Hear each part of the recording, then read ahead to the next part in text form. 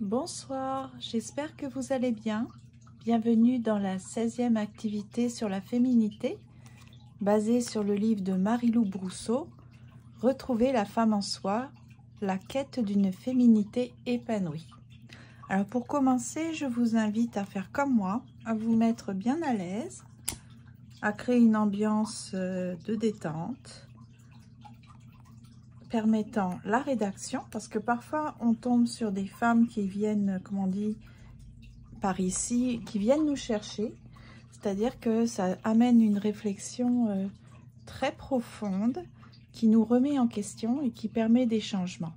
Donc c'est important de vraiment vous mettre à l'aise. voyez, moi je me suis fait une petite tisane avec de la menthe de mon jardin. Donc je l'avais je l'avais cueilli, j'avais coupé les branches de menthe, fait sécher. Et ensuite, euh, la menthe, je l'avais un petit peu... Euh, je l'avais évidemment détaché des branches, des tiges plutôt. Et voilà, j'obtiens une très très belle petite infusion à la menthe.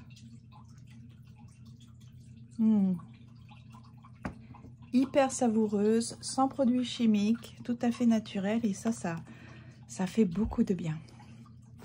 Alors, je vais... Euh, dites-moi en commentaire euh, quelle est la température chez vous, comment vous allez, sur quel projet vous travaillez en ce moment. Alors, parce qu'ici, il fait 10 degrés et le ciel est tout gris, tout gris, tout gris. Ce n'est vraiment pas euh, la chaleur.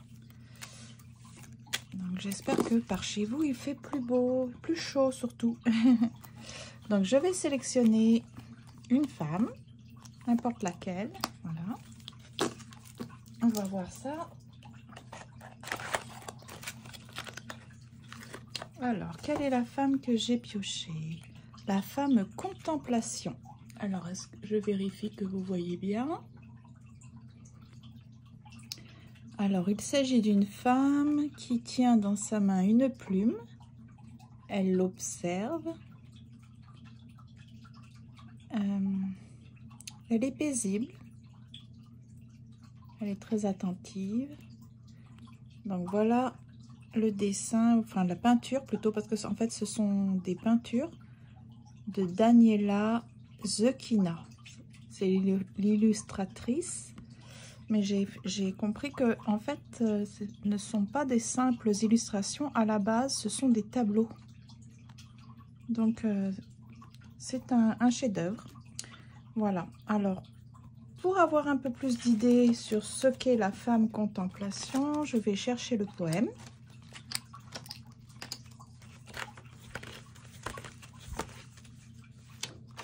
Ah, c'est tout page 196.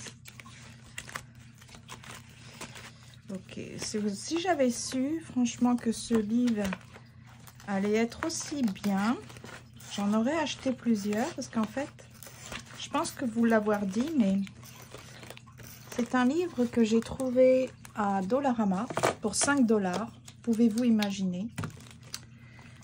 Et je l'ai acheté sans savoir que, évidemment, il allait être en rupture de stock. Parce que Dollarama, quand on trouve de, belles trouvailles, il faut en acheter en, grande quantité.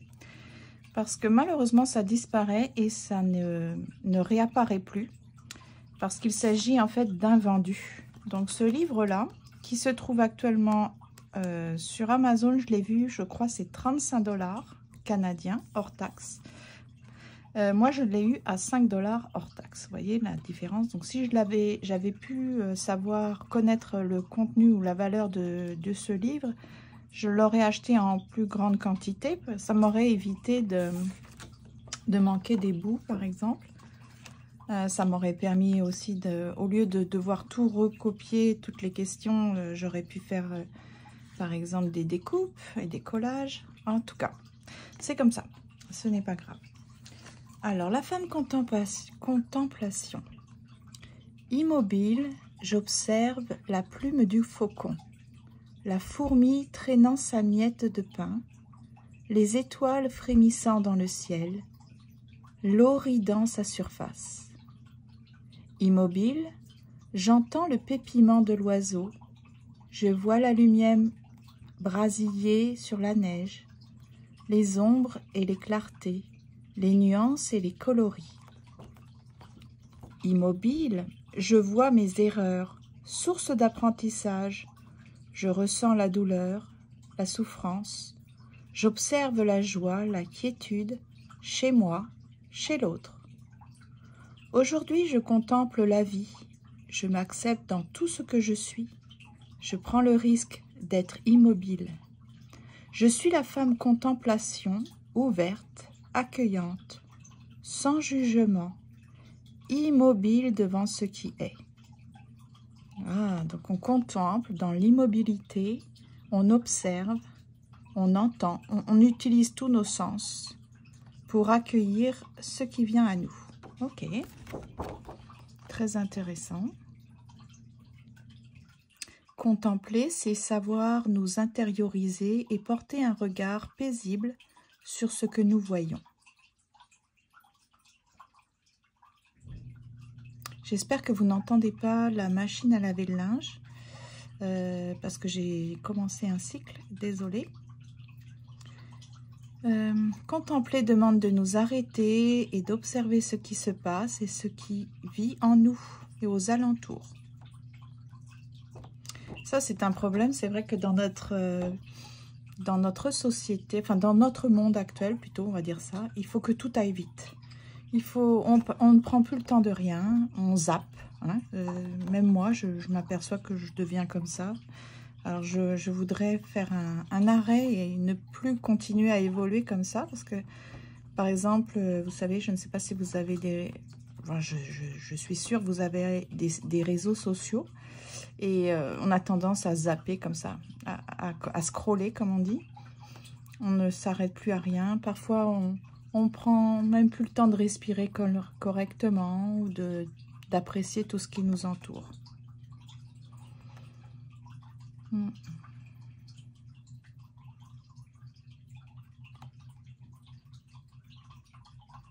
La contemplation demande une attention dirigée afin de reprendre contact avec ce qui est. Si nous sommes dans la nature, il n'est pas nécessaire de vouloir tout saisir, tout capter, tout comprendre. Laissons couler notre regard sur une plante, un arbre, un caillou, sans chercher à les analyser ou à les nommer. Il s'agit là d'une contemplation qui n'attend rien de l'objet, aucune information, aucun message. Nous devenons alors complètement présentes à notre expérience, aux subtilités sonores et visuelles. Marcher dans la nature, c'est comme se trouver dans une immense bibliothèque où chaque livre ne contiendrait que des phrases essentielles. Dit magnifiquement Christian Bobin. Très intéressant. Alors, maintenant que j'ai lu le poème, que j'ai lu quelques phrases qui permettent d'avoir une idée un peu plus précise sur ce qu'est la femme contemplation, je vais chercher une femme, une image d'une femme qui pourrait me, faire penser à la femme contemplation. Alors, je vous invite à faire euh, la même chose que moi. Chercher... Waouh J'aime beaucoup cette femme. Euh, je vous invite à, à, chercher une femme qui pourrait aussi euh, vous permettre de penser à une femme contemplation.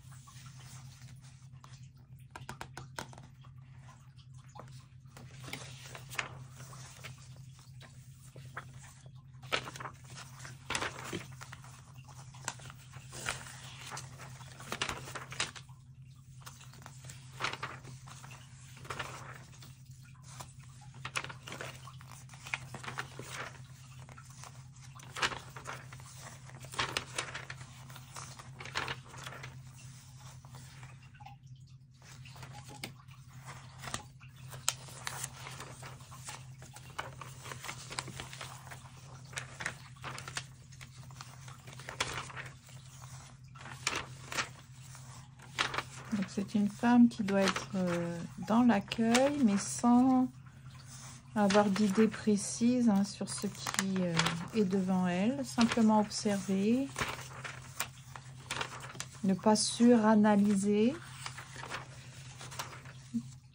Je pense que j'ai je pense que je vais m'arrêter là dans ma recherche. J'ai quand même deux, trois images qui m'intéressent.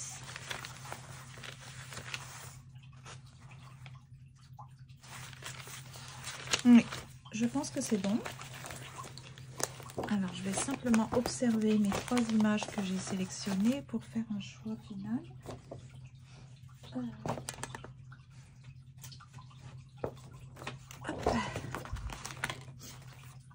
Donc, j'ai choisi celle-ci ou celle-ci ou cette dernière. Euh,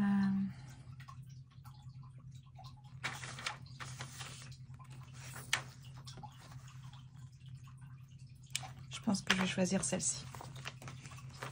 Donc, je vais choisir celle-ci. Je ne sais pas, je la trouve inspirante pour la thématique. Et puis, par contre, c'est une très grosse tête. Est-ce que ça va fonctionner? Le format est très large. Ok. Hmm, un petit peu compliqué, hein Parce qu'il faut quand même que je prévoie de la place pour ma rédaction. Je vais couper la boucle d'oreille. Là, ça n'a pas, très, pas vraiment d'importance. Un peu les cheveux aussi, malheureusement. Parce que je pense que... Voilà, je vais voir si ça peut se mettre, mais je ne pense pas. Euh,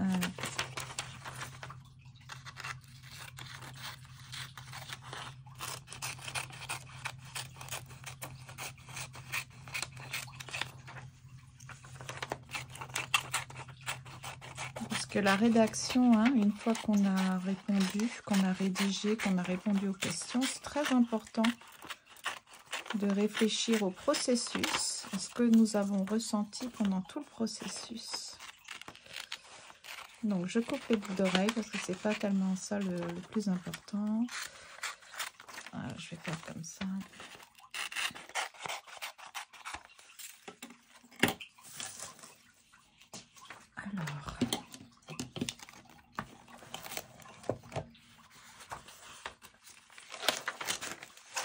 C'est la femme compassion. Oui, voilà, ok. Donc là, on en est là. La femme contemplation. Alors, je vais prendre des stylos. Qu'est-ce que j'ai comme stylo? Le vert, différents verts. Allez. Puisqu'on a beaucoup parlé de la nature. Donc ici, je vais coller ma femme. Vous voyez, pas la, je n'ai pas la place. Non. Et si je fais comme ça,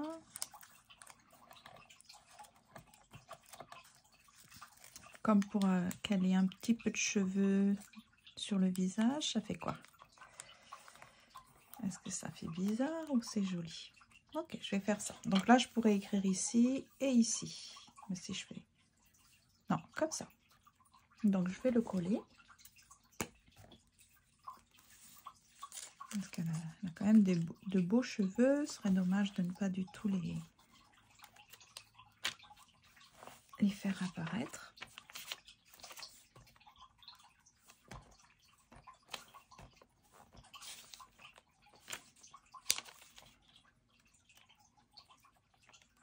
Jusqu'à présent, quelle est la femme que vous avez préféré euh, analyser?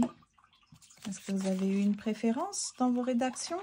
Est-ce qu'il y a une, femme en particulier qui vous a permis vraiment de faire des bonds de géant sur votre euh, développement personnel? Je, suis, je suis curieuse de savoir. Donc voilà, on va la laisser là. Je vais écrire la date. Ah, je m'en suis jamais servi. On va enlever le petit bouchon, la petite protection en cire là qui. Voilà. Et lui, est-ce que je m'en suis déjà servi? Non. Ah, c'est ça. J'ai retrouvé des stylos. Je ne me rappelais même plus que j'avais ceux-ci. Donc ça va me permettre de faire un petit peu de changement. Donc, on est à la 16e semaine. Donc, nous avons déjà parlé de 16 femmes. C'est beau, hein, la richesse de la féminité. Et euh, nous allons parler de la femme contemplation.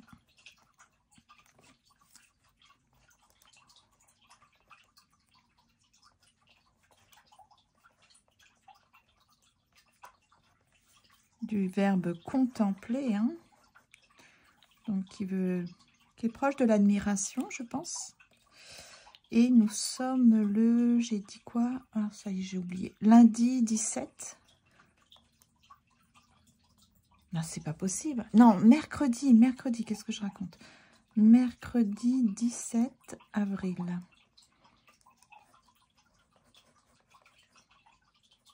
Voilà. Alors, première question. Quelle place est-ce que je donne à la dimension contemplative dans ma vie? Donc, quelle place est-ce que je donne?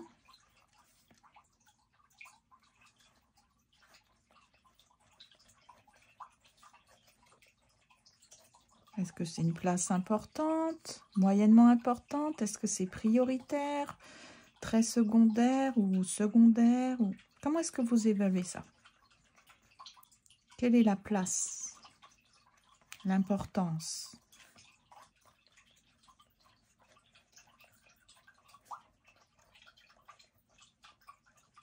Voilà.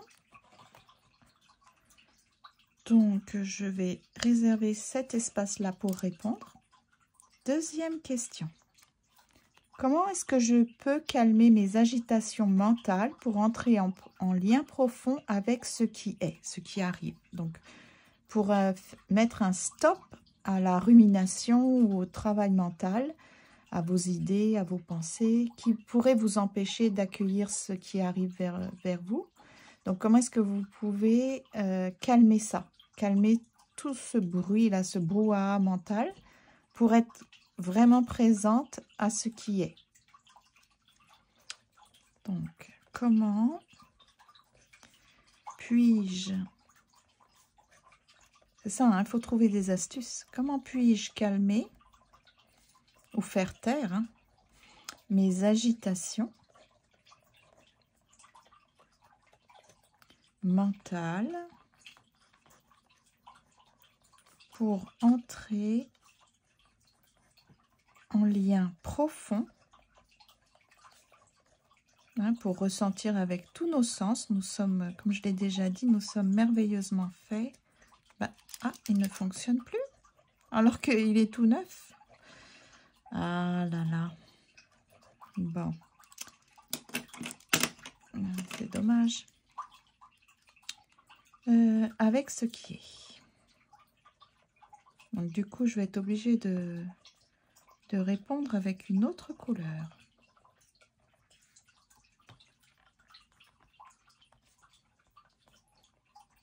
Voilà.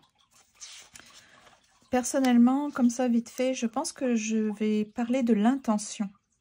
C'est-à-dire que si on part avec une intention bien précise, par exemple, vous sortez, vous allez marcher dans la nature, vous avez l'intention vraiment de vous connecter avec tout ce qui s'offre à vous grâce à vos sens, vous voulez vraiment apprécier avec reconnaissance et gratitude ce qui existe, que ce qui, toute la beauté qu'il y a autour de vous, eh bien, ça permet vraiment de, faire un silence en vous, d'arrêter de, penser et que ça vienne vous gâcher euh, cette belle expérience. Hein. Donc, ça, ça, peut être... Euh, en tout cas, je pense vraiment que je vais parler de l'intention. Ensuite, troisième question. Mes représentations mentales créent-elles des conflits avec ce que je suis vraiment et ce que je vois? Donc, est-ce que vous avez l'impression que entre ce que vous voyez et ce que vous... La façon dont vous les percevez, est-ce qu'il y a un décalage? Est-ce que le fait de, que vous ayez déjà des idées préconçues ou des représentations mentales de ce qui vient vers vous, est-ce que du coup, vous pensez qu'il y a, il y a un conflit ou, des biais hein, Vous savez, on a déjà parlé des biais. Est-ce que vous pensez que vous pourriez travailler là-dessus? Donc ça, c'est très profond, hein, c'est très euh, un peu compliqué. Donc mes représentations mentales. Si vous voulez, vous pouvez peut-être aller chercher sur Internet euh, qu'est-ce que qu'est-ce qu'une représentation mentale? Et comme ça, ça va vous donner des exemples et ça va être plus facile pour répondre. D'accord? Donc, mes représentations mentales créent-elles des conflits ou des obstacles hein, des... avec ce que je suis vraiment?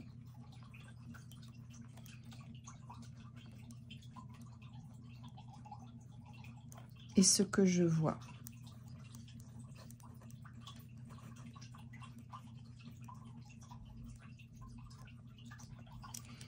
Donc là, puisque c'est quand même très, euh, très profond, je vais même, euh, personnellement, je vais refaire un petit tour dans ce que sont les représentations mentales.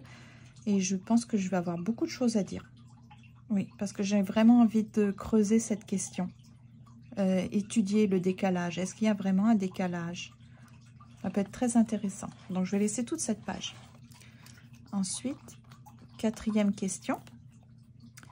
Comment puis-je faire silence en moi pour me laisser être?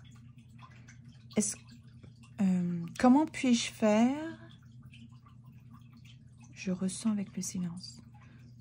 Pour, pour me sentir comment je suis avec le silence? Est-ce que vous êtes à l'aise avec le silence ou est-ce que vous avez besoin tout le temps du bruit?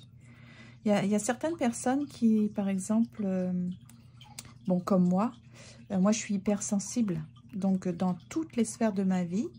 Et par exemple, vous voyez la petite fontaine, là je, je sais que vous appréciez, donc c'est pour ça que je, je la mets. Mais elle est encore un peu trop forte pour moi, vous voyez, parce que ça me euh, comme je suis très sensible, par exemple, au son, au bruit, enfin, au son, oui, euh, ça a tendance à, des fois, à faire comme une concurrence quand je dois réfléchir. Alors qu'il y a d'autres personnes, j'en connais quelques-unes, qui m'ont dit euh, ne pas pouvoir, par exemple, travailler dans le silence. Soit ça les oppresse, le silence les oppresse, ou alors ils ont, à l'inverse de moi, de la difficulté à se concentrer dans le silence. Donc, vous voyez, on est tous différents. Donc, c'est pour ça que c'est très important. Est-ce que vous, êtes capable de faire le silence en vous? Et si vous êtes dans le silence, comment est-ce que vous vous sentez? C'est quoi votre rapport au silence? Voilà. Est-ce que c'est quelque chose euh, qui est utile, nécessaire ou au contraire, euh, c'est difficile pour vous de, supporter le silence? Donc, très intéressant hein, d'apprendre à se connaître. Comment puis-je faire silence en moi pour me laisser être? C'est une question un peu bizarre, me laisser être. Ok, en tout cas, j'espère que vous la comprenez bien. Et puis, comment est-ce que je me sens avec le silence? Donc, c'est complètement différent. Donc, on va dire le 4A. La question 4A, c'est comment puis-je faire silence en moi pour me laisser être? Et là, je n'ai pas besoin d'énormément de, place. Je sais exactement comment apprécier le silence et faire silence. Donc, je vais mettre le B ici. Mais comment est-ce que je me sens? Ça, c'est la deuxième question. Comment est-ce que je me sens avec le silence? Hein, Comment est-ce que je me sens avec le silence? Euh, Qu'est-ce que je ressens?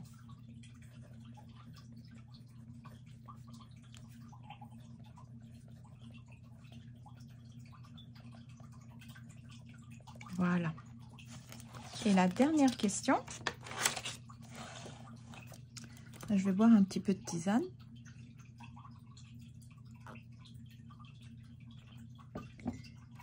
Alors, le numéro 5. Comment... Non, comment, oui, c'est ça. Comment est-ce que je compose avec les situations de tous les jours? On dit, on fait avec Ou alors est-ce que vous avez l'impression d'être tout le temps en combat Ou est-ce que vous, trouvez l'harmonie euh, facilement? Voyez, c'est... Il faut composer hein, avec ce qui se passe, ce qui arrive. Est-ce que c'est quelque chose euh, de difficile peut-être en ce moment? Ou alors est-ce que c'est une, une aptitude que vous avez, vous trouvez ça facile? Ok, donc on est tous différents. Hein. donc je répète la question. Comment est-ce que je compose avec les situations de tous les jours? Donc voilà, ce sont de très bonnes questions. Et puis, euh, bah, je vous en ai posé d'autres. Par exemple, euh, bah, dans quelle euh, partie du globe vous habitez? Quelle est la température que vous avez en ce moment? Sur quel projet vous êtes en train de travailler? Au niveau de l'atelier ou, ou de, des activités sur la féminité, nous avons étudié 16 femmes jusqu'à présent. Hein. Donc, quel est le type de femme qui vous a le plus interpellé ou fait réfléchir? Vous avez vraiment aimé rédiger? Vous voyez, ça fait, ça fait beaucoup de questions. Hein Donc, ça serait euh, super gentil de, me, de me, dire, d'échanger là-dessus. Et puis, euh, n'hésitez pas à mettre un petit pouce levé si vous aimez les contenus, comme d'habitude. Hein à vous abonner si vous n'êtes pas abonné, à partager si vous pensez que les, ça peut aider d'autres personnes. Et puis, euh, bah merci d'avance, écoutez. Merci pour votre soutien. Merci déjà pour tous les commentaires, pour tous ceux qui, celles qui me suivent. C'est très, très apprécié. Je suis très contente. Alors, donc, on est mercredi. Demain, normalement, il n'y a pas, il n'y a rien, mais ça m'étonnerait que je ne fasse rien parce que je suis... Euh, très occupée avec mes petites cartes. Peut-être que je j'aurai enfin fini de faire mon petit bricolage et je pourrai passer à aux deuxième étape, hein, la deuxième étape et partager ça avec vous. Et puis sinon, vendredi, on fera une activité de détente. Voilà, je ne sais pas trop encore, mais peut-être avec la gel presse ou alors euh, l'aquarelle. Ça fait super longtemps que je n'ai pas touché à l'aquarelle. On ne sait pas on ne sait pas. Ça sera la surprise ou alors euh, la poursuite de mes cartes. Mystère et boule de gomme. On verra bien. Donc, bonne soirée. Prenez bien soin de vous et à bientôt.